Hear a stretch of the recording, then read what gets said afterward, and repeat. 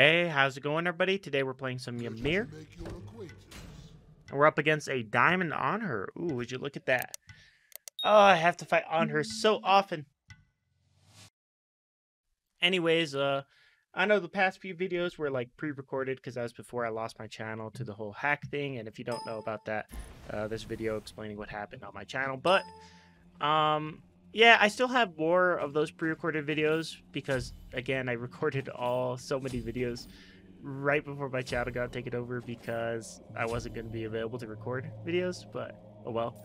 Um, I still have more of them, but I think it would be best if I return to the recording them the day of or the day after um, the video goes up. So that's what we're going to be doing right now. Um, I don't actually know this Anhur player, but they do have that diamond border. And as I've said before, this matchup can be interesting as long as I don't get first blooded like immediately.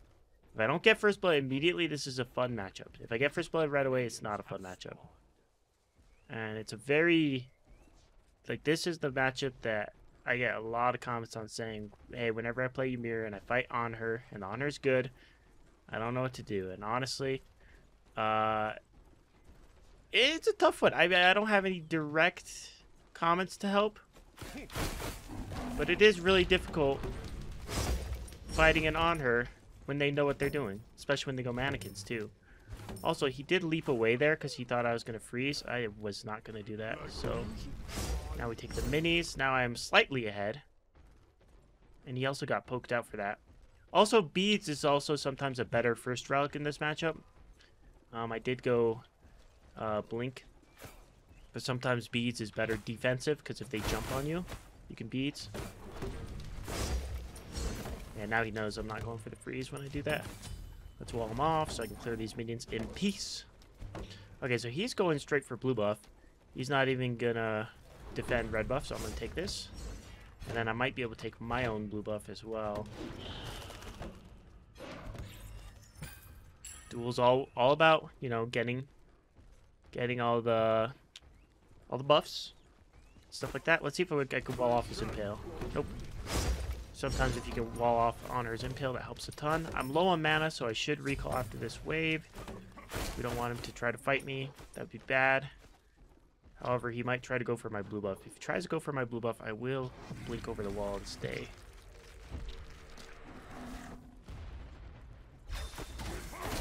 Yep.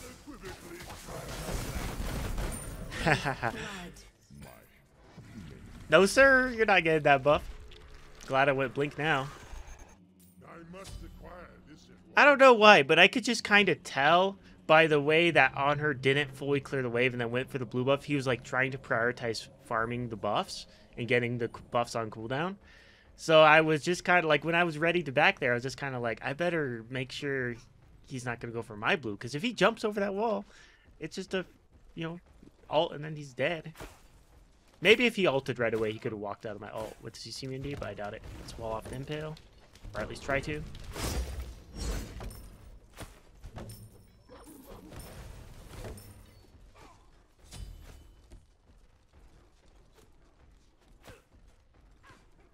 Okay, looks like he's going Transcendence, so he's going to have a huge amount of power. Um, I could actually back for my Bancrofts here because there are no buffs up. And all I, I, lose a little bit of farm in lane, but I get the power spike from Bancrofts immediately. I could have, again, I could have stayed there, but I lose what, like two minutes to tower?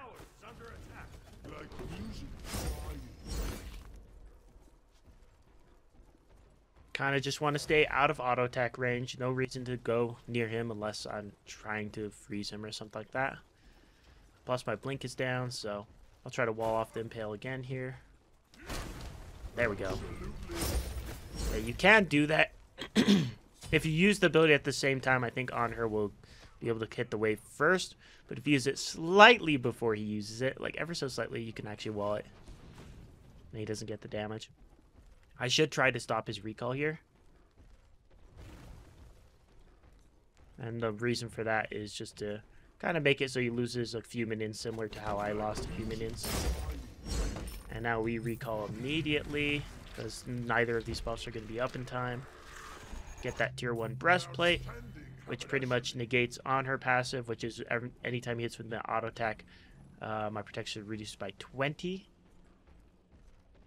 So now it's like, you know, tier 1 breastplate kind of negates that completely. Now, did he go for his blue buff? Or is he waiting around the corner for this red buff? No, he's going for his blue buff. Okay. Yeah, I will take red buff over blue his blue any day because then I kind of get control of both red and my own blue buff. And I'll get ahead in XP like that. Bad wall. That's alright.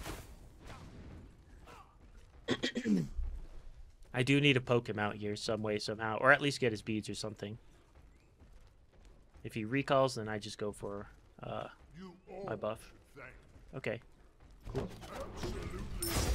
Or actually, I can go for minis and then my, my buff as well. We don't want to leave any extra farm for him. We're already two levels ahead because of the way we're farming. And again, he can surprise us at this buff, but if he jumps over the wall, then I just ult. If he steals it, then that, that's that. Nope, we're good. Still full health of mana, so we will stay. I can't buy the tier 3, tier 3 item yet.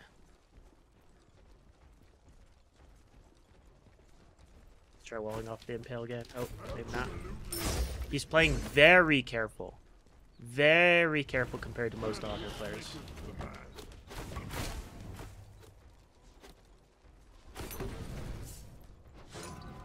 Actually tempted to go for Demon King.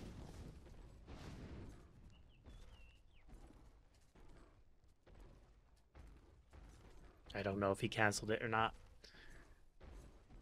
No, no, no. I should not go for it. I should make him think I went for it, though.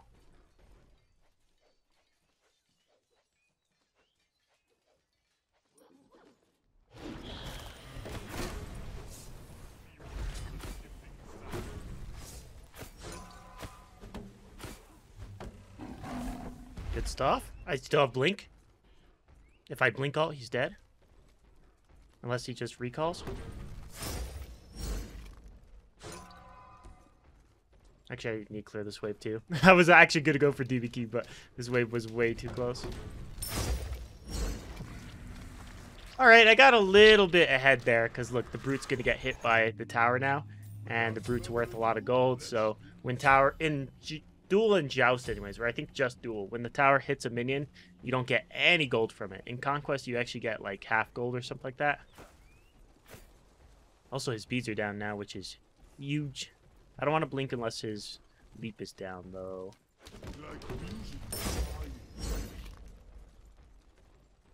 Now we're actually going to try to start taking his blue buff, too. Stuff like that. Nope. I missed everything. Doesn't matter. He's too far back to actually punish me. Unless he leaked, of course.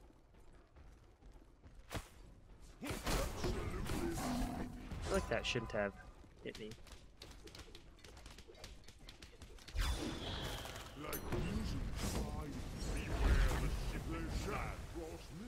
he's too far in tower for me to actually kill him.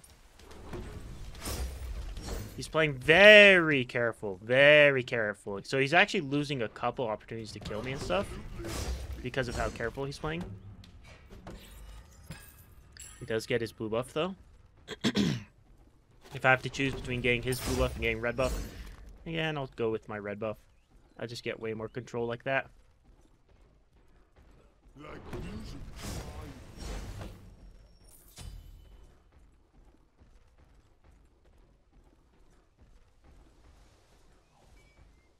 Again, if he leaps over this wall, then I can just ult. Now, second relic, I will get beads. Sometimes I go with Aegis in this matchup if the Anhur is super aggressive and they're like ulting me constantly. But this Anhur has ulted me, what, once? I'd rather have the beads so that when I leap on him, I can, you know, immune the beads or whatever I need to immune. I also do have wards now, so actually going for Demon King's not a bad idea anymore. He's probably going to try to stop me. I do have my ultimate for the Skier, though. I'm going to save my freeze.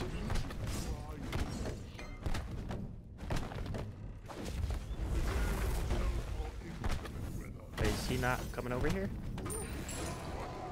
It's like he knew I was doing it and then just ignored that. Wall impale? Oh, never mind. We actually just want to recall immediately.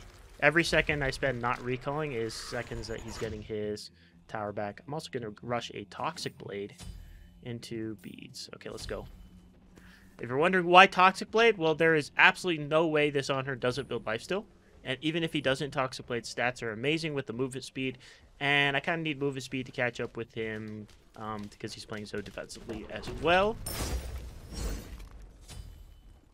Too bad I couldn't buy it now, but I need to put pressure on this tower. Okay, backdoor protections are gone.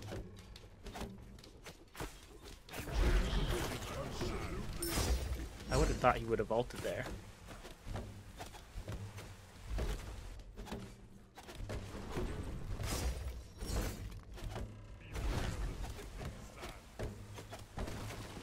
Will impale me, but it won't really do anything to me right now. Yeah, like, I, I would say this Anhur is good. He's just way too defensive. Anhur is a very strong character to play offensive and defensive.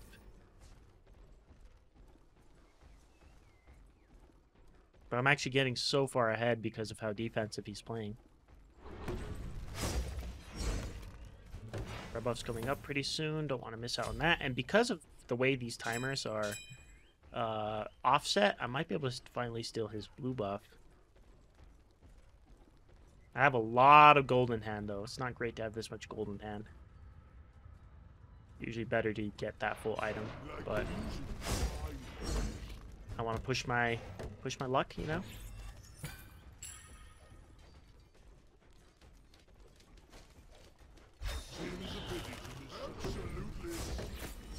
There we go.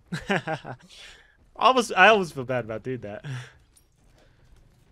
Because that's the only buff he had. Alright.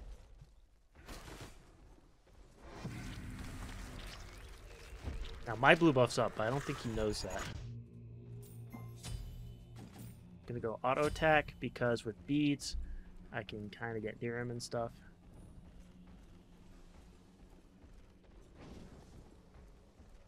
He's actually going towards Demon King. I don't know if you guys saw that, but when he was jumping, uh, I don't I, I don't know if it's a jump stamp or what, but sometimes there's like ones that glow. And if he wasn't jumping, I wouldn't have saw him. So I guess he just went around and then went back. He's putting a ward over there or something. Should have checked if he had a ward. He also has Sprint. Sprint's a good item against Ymir.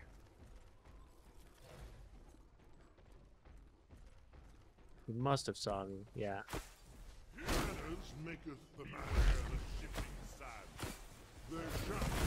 Oh, there it is! The true result of being an Anhur main, alting the wave. Such a classic. Are you actually recalling? You are. Alright, I'm gonna go get a sentry, and we're gonna sentry it up, and then we're gonna either A, take Demon King, and win, take Phoenix, and then win the game, or B, know that he's coming to go stop me at Demon King, and then just winning the fight and winning the game. Uh, he did get Qin's Sais, which is gonna hit very hard. And again, I don't even feel bad about going Toxiblade, even if he doesn't get lifesteal, because the stats are pretty good. And if anything, him not having lifesteal is helping me. Okay, his leap is down right now. This is the best time to go for Demon King. It puts pressure on him to come over here. Uh, actually, no, no, no, no, no, no. That would be a little too hasty. I need to get my item and place a regular ward, or actually even a sentry. So I have a sentry here and here.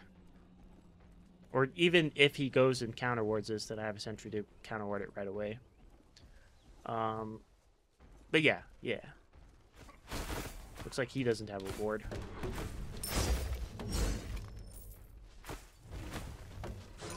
Where's the leap?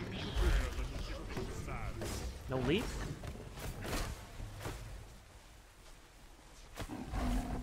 Okay, I have blink.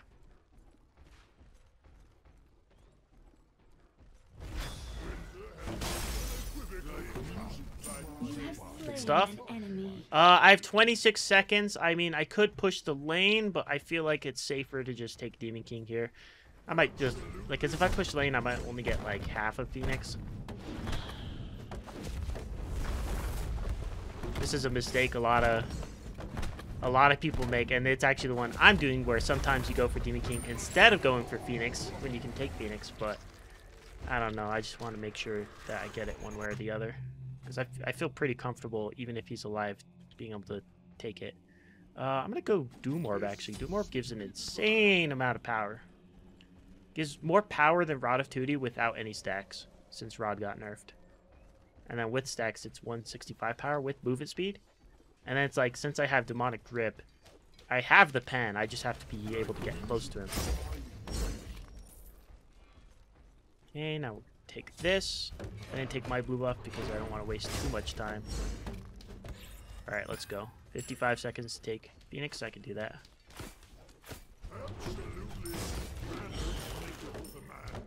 Sucks I had to use the freeze there because... Nice. Again, I'm slightly faster than him. Nope. He actually let my minions get in range, so he has no backdoor protections on this Phoenix right now. Which is huge, by the way. Oh, that might be a kill. No. I should. I, if I beats the slow, that would have been a kill. That's alright. My priority right now is the Phoenix. I don't want to dive down and then die. Wall of Nimbale.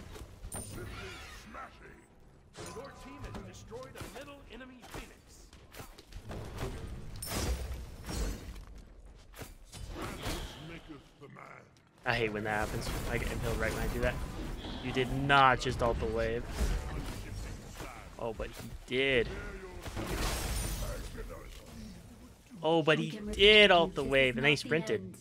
So now his sprint is down. I've yet to use my beads, to be quite quite honest, because usually it gets on her when I blink and they're low health and I know their escape's down. That's when I want to use the beads, and that way they can't like knock me away while I'm freezing or something. But it hasn't really happened this game. But again, I've been so ahead that I really needed to, I guess. There's been a few situations where I definitely could have used beads and would have helped the fight, but I don't think there has been too many situations where it was like it was imperative to beads.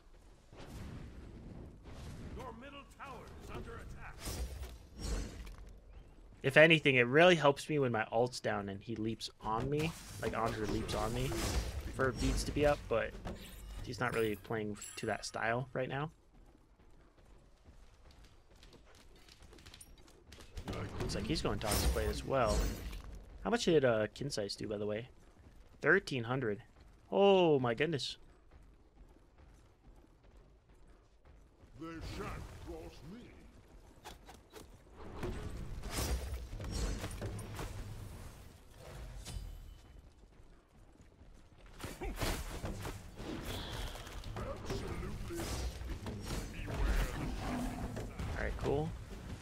Just get him down kind of low.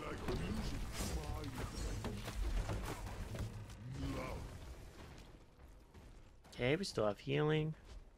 Everything's good.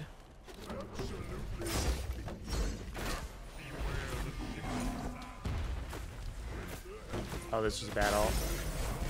That was a bad ult.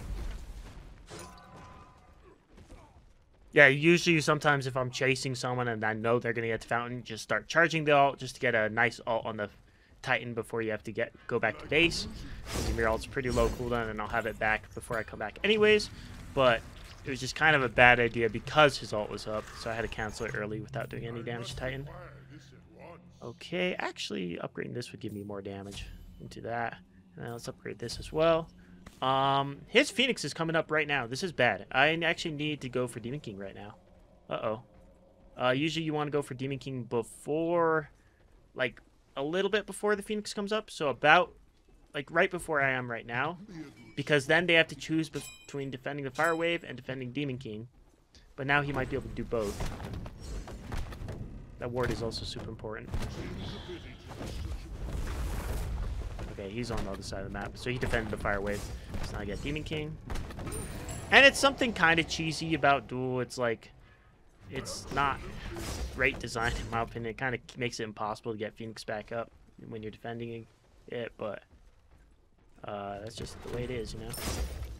Also, did I not pick up red buff? Whoops. I thought I did. My bad. I'm sorry. I make that. I guess I wasn't paying attention. Or I had blue buff or something. I don't know.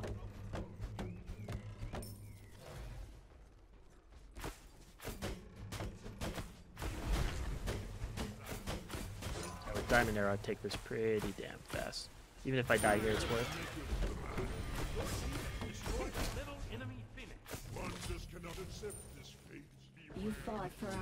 However, at this point, he is going to start being able to kill us pretty fast, so we're going to have to do something about that. Um, Wait, did he beat there? I, I don't know why my memory is so shot right now. Uh, yeah, he did beat there, didn't he? So if he beats there, then I have my blink up. I could get a nice kill on him. My beats are almost up. I don't have power potion though. Oh, no way he gets Phoenix too, does he? Does he really? yeah, no way he gets Phoenix.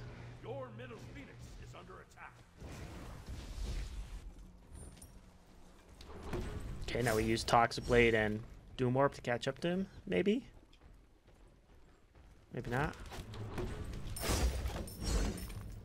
Alright, well in this case, if we're just going to go fight as Titan anyways, um, I'm not going to pick up blue buff. First of all, I'm not going to pick up blue buff because red buff's coming up soonish. To get my power potion. That way we're fighting at max build.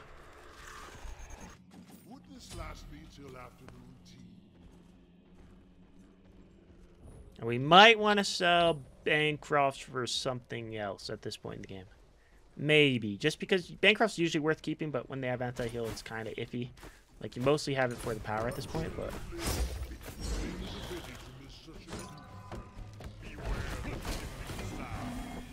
I, I blink up.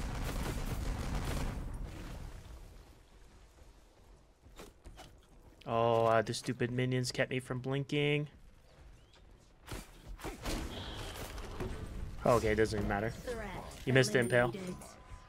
Oh, that was so... Oh, he almost got away with that. That would have been so annoying if he got away with that. Because uh, once he went over that wall, I had blink. I just had to get blink on him. But he kept me in combat with the ult, which is good of him. Then the minions kept me in combat.